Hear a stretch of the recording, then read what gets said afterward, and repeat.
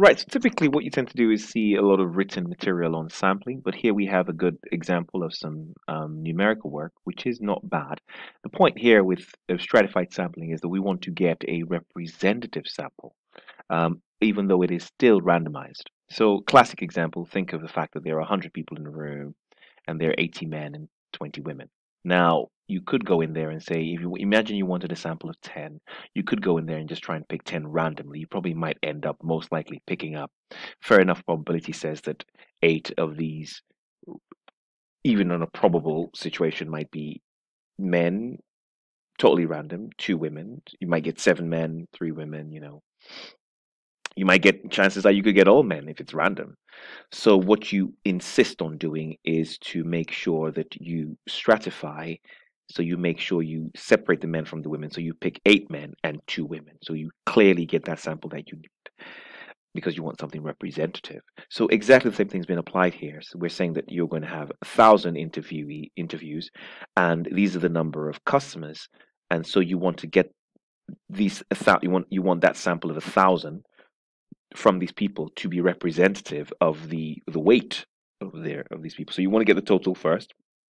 So add all these together, 23,000 plus this, plus this, plus this, and write the answer there first. Just get what, we're working with, 23,500 plus 24,000 plus 41,500 plus 54,000 and you have 143,000. Okay, great stuff. So you have that. So the next thing is to now say, well, what percentage of this thousand is to is it will sit here? So you're going to have 23,500 divided by 143,000 times a thousand and you're going to do the same thing right across. So let's do that right? So 23,500 as a fraction 23,500 um, divided by 143000 times a thousand is 164 so just get rid of this. So you have 100 you have 160 um, um, yeah, it's all coming up. Let me just check again to make sure that my adding is right because I would have hoped that this would have come up nicely. Oh, it says round up to the nearest whole number. Okay, great. So, um, yeah, it was 164 then. Okay, great. Um, so you now have 24,000 time divided by 143,000 times 1,000 of course, and that's 168 because you're rounding up. Great stuff. Then you now have 41,500 divided by 143,000 times um, 1,000. You have 290.